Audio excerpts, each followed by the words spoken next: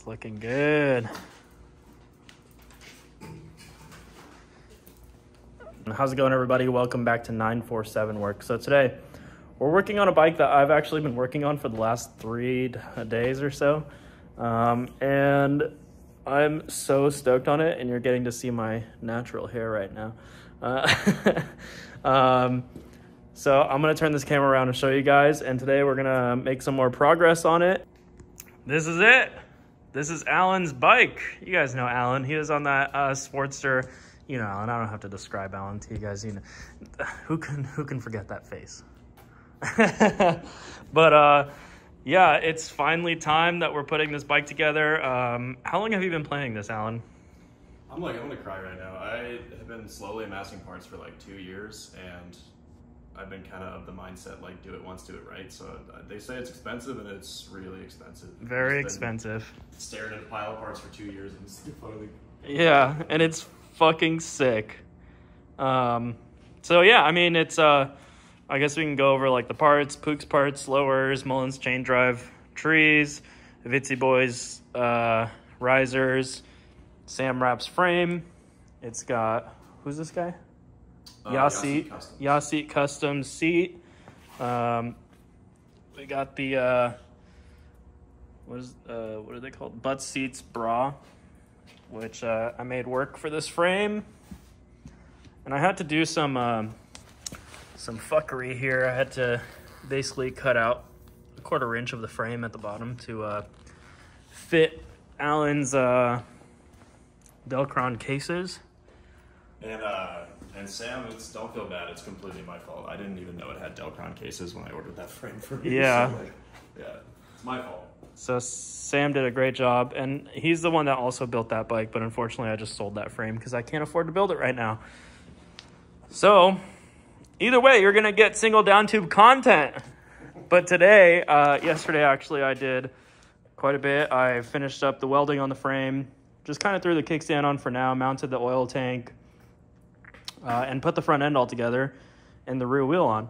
So today we're just gonna mount the rear fender um, and throw the motor in there, throw the trans in there, uh, kind of assemble like lightly the um, the primary just to know if the kickstand's in the right place. I just kind of threw it on there so it can lean. and uh, yeah, so that's what we're gonna do today. And then eventually I have to figure out how the sissy bar is gonna work, but let's get to it.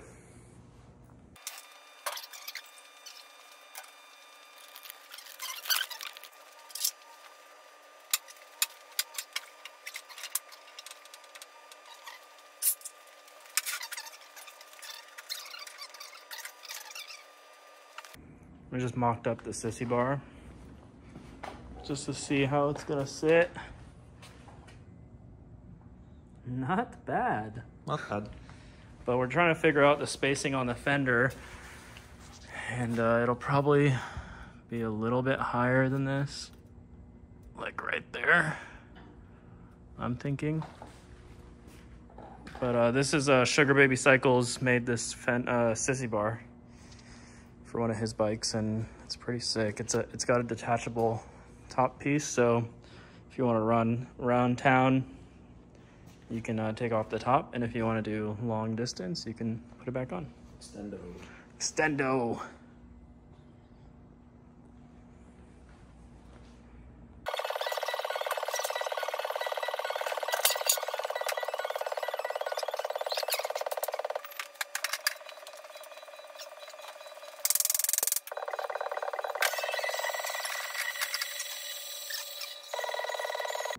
Well, we've done a horrible job at actually filming any of this process. I think the last thing we filmed was uh, the trans going in. Yeah, there it is. But we just kind of mocked up uh, the Electron carb, the mag, and the foot pegs and the brake and stuff. Um, basically, I think I'm gonna take off the battery tray because with the butt seats bra, um, we don't need the battery trace. And uh, currently, let me show you on the other side.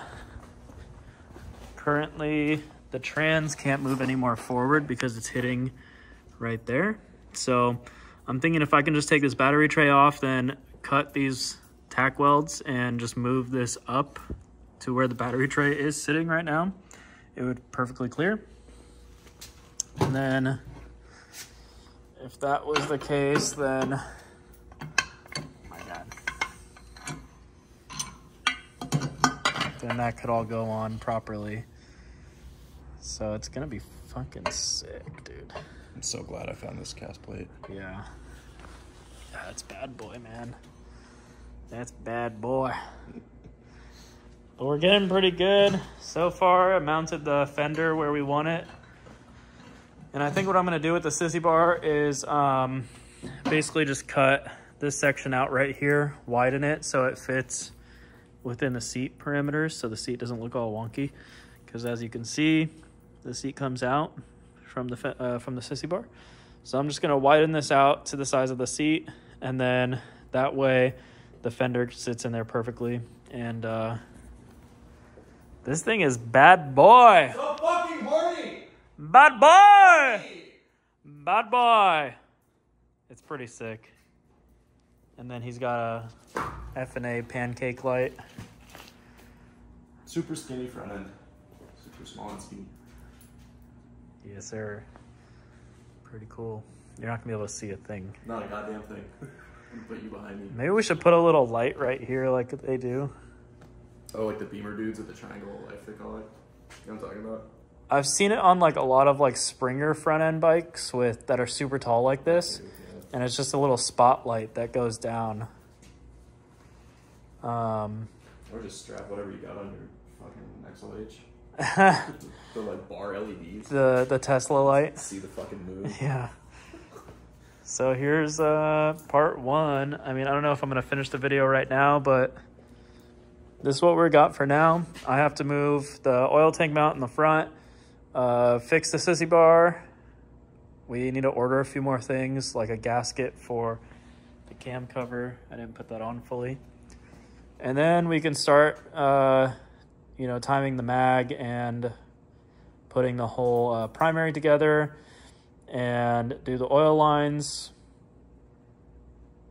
finish up the gas tank, and then we can try and start it, honestly.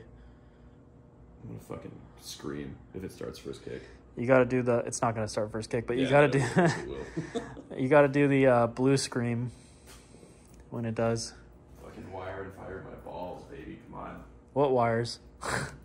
Two, the two on this fucking the two for the headlight, yeah.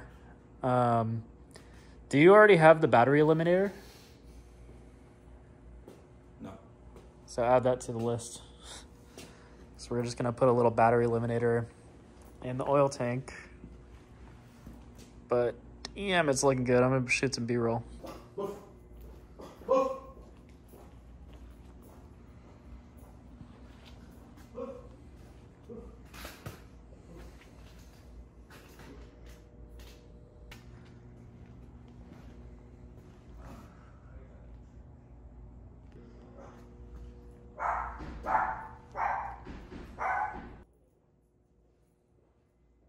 So skinny. Oh, someone just fell. Oh. Oh yeah, buddy. Dang. It's looking good. Actually, those the way down. the high mids are not. Yeah, there you go. They're not that bad. Yeah. Eight inch risers are like kind of as Although you're like your elbows are on your knees. Let's see what you look like up front. Are you able to put both your feet up?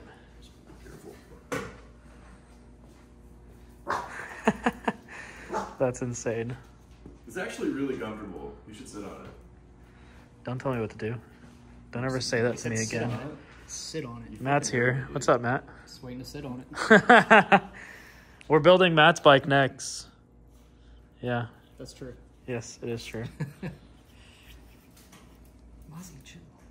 It's looking pretty cool. Yeah, that does look sweet. Damn. So I'm done working on this thing for the day.